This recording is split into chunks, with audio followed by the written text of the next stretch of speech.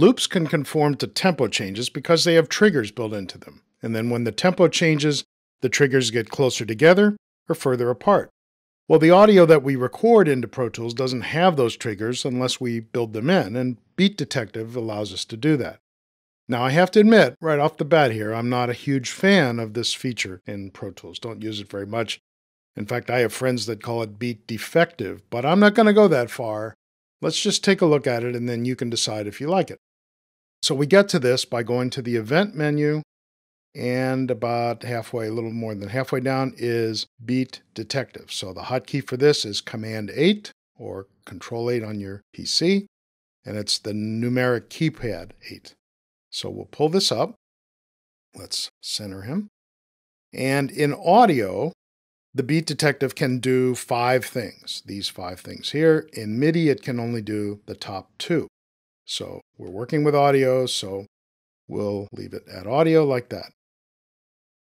Now we know, because we watched the earlier chapter, that this tempo doesn't appear right because this loop, let me play it for you.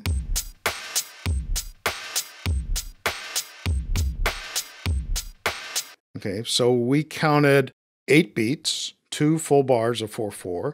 And so the downbeat of three, which is actually over here somewhere, should be over there at the end of this loop.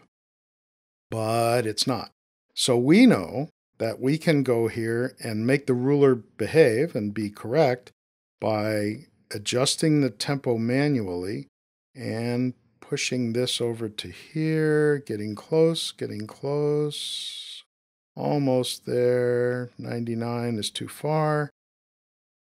Maybe 100 right on the dot was about right. Yeah, that looks pretty good.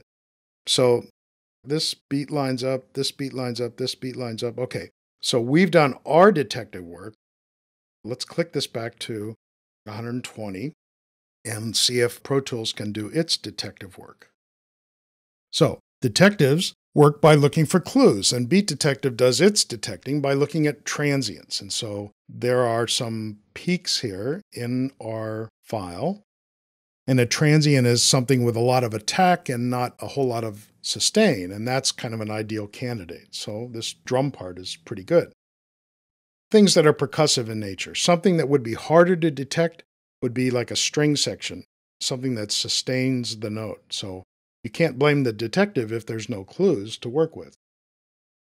And Beat Detective, I think, does its best work when the tempo is steady. It doesn't do well when the tempo's all over the place. Okay, so we think this thing's at 100. Let's see if Pro Tools can behave.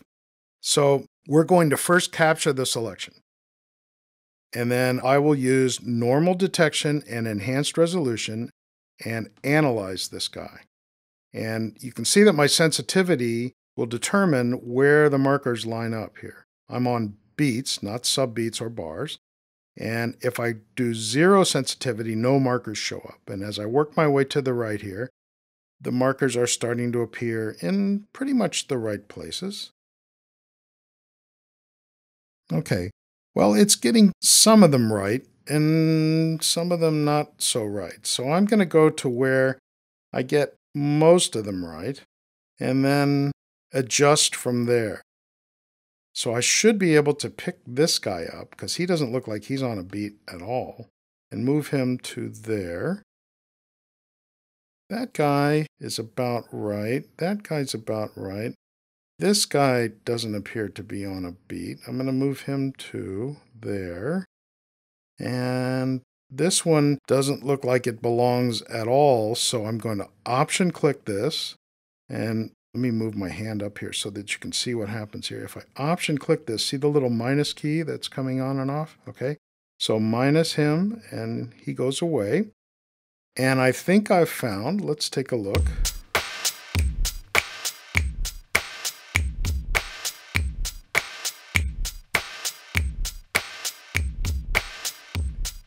Okay, so that was me snapping along with it just to kind of keep Pro Tools honest. Okay, and so down here at the bottom is use bar beat generation to translate trigger points to the tempo ruler. So up at the tempo ruler, we have no tempo at all yet. So this is the sort of moment of truth in Beat Detective where if you've set your triggers right, it should be able to tell you the tempo of this piece. So let's click and see what happens. Generate. And it's found sort of an average tempo of about 100, where it gets a little bit faster in some places and a little bit slower in others. But it's basically carved out the tempo here of this piece. So nice work, Beat Detective.